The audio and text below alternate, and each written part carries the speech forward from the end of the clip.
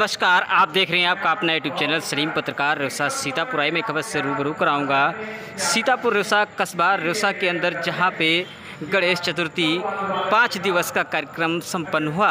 इस कार्यक्रम में उपस्थित मान्य विधानसभा सेवता 150 पूर्व विधायक महेंद्र सिंह उर्फ़ झीन बाबू पहुँचे, जहाँ पे सभी जनता जनार्दनों को एक सौभाग्य प्राप्त हुआ। सभी जनता जनार्दन को क्षेत्रवासियों को एक बधाई देते हुए मान्य विधायक झीन बाबू ने सभी को बधाई दी। आइए मैं पूरी खबर से रूबरू कराऊँगा कि मान्य विधायक जी हनुमान मंदिर मुझा पे क्या बोले? जिन लोगों ने हमारे YouTube चैनल को अभी तक सब्सक्राइब नहीं किए हो सब्सक्राइब कर लें बेल आइकन घंटी दबा दें ताकि छोटी बड़ी खबर से रूबरू हो सकें।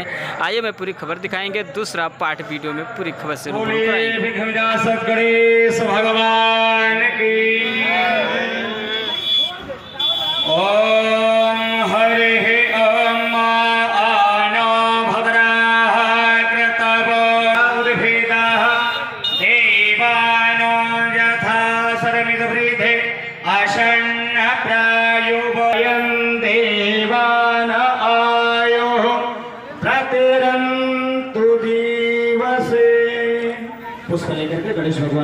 हमारे अतिथि महोदय के द्वारा दीपक प्रज्वलित कार्यक्रम हो चुका है।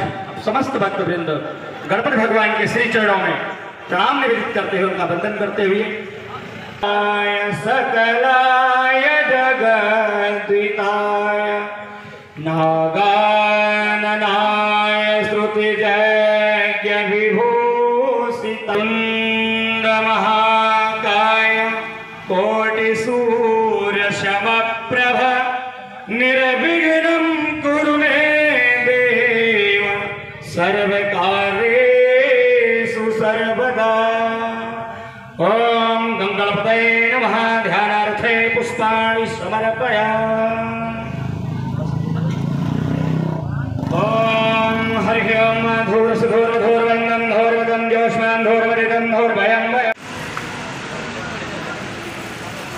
गणेश जी को नमन करता हूँ। उनके गणेश उत्सव के अवसर पर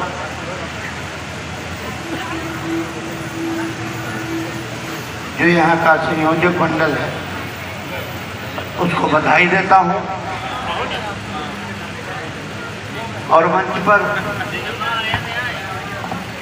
पधारे हुए हमारे कीर्तनकार। इन लोगों को भी हमारी तरफ़ से बहुत बहुत शुभकामनाएँ, आशीर्वाद। माताओं, बहनों को प्रणाम। हमारे भाइयों को, सबको, साथियों को, सबको बहुत बहुत प्रणाम। गणेश जी की कृपा आप लोगों पर बनी रहे। चुनाव के बाद प्रथम बार रेउसा आगमन हुआ। और पावन मंच पर बोलने का मुझे अवसर भी दिया गया। सौभाग्य की बात है। नहीं कहीं कहीं तो मुझे अवसर भी नहीं दिया जाता। ये अवसर मिला इसके लिए मैं बहुत बहुत धन्यवाद देता हूँ आपको। साथ साथ मैं आज पहली बार आया हूँ और चुनाव मार्च में हुआ था। चुनाव मार्च में डिक्लेयर हुआ था। हमसे जिनका चुनाव हुआ और चुनाव जीते।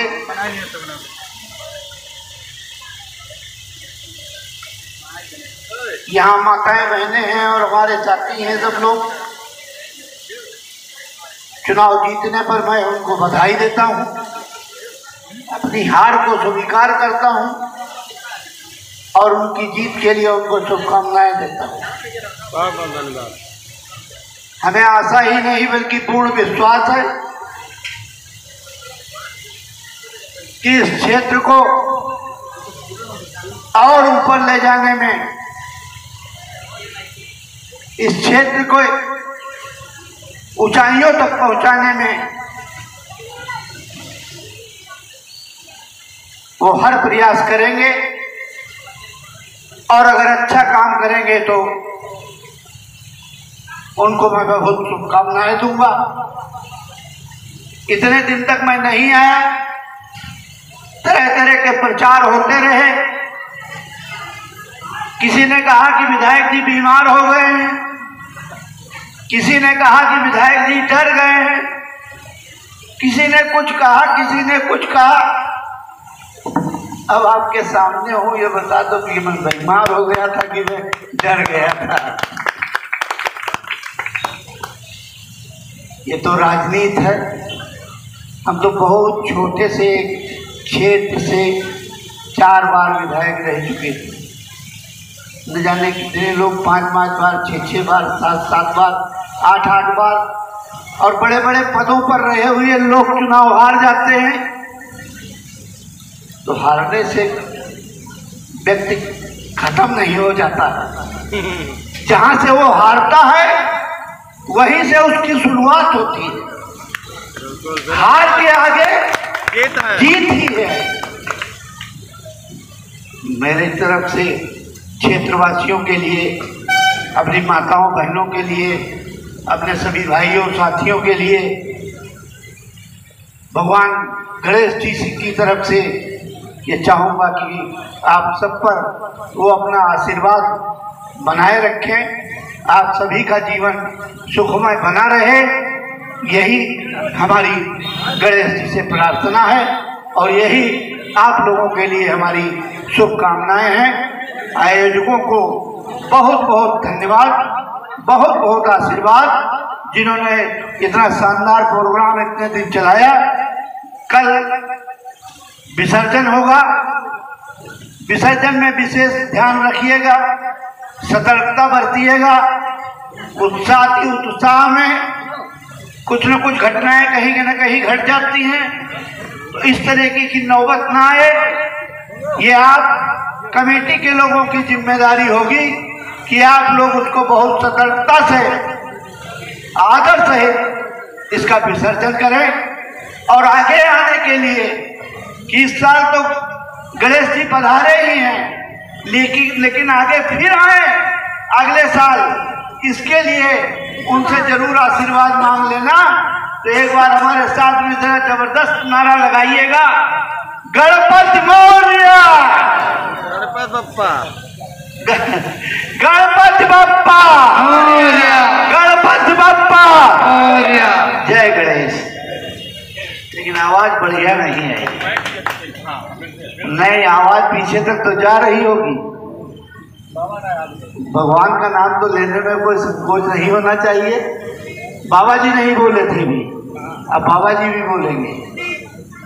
गणपति बप्पा गणपति बप्पा अगले वर्ष अगले वर्ष जय गणेश। बहुत बहुत धन्यवाद आदरणीय विधायक जी। आप जाएँगे नहीं, ये कमेटी का अनुरोध है आपसे। कि कृपया आप मंचासीन रहें। आपके साथ में जो आए हैं, वो कमेटी के लोग को सम्मानित करना चाहिए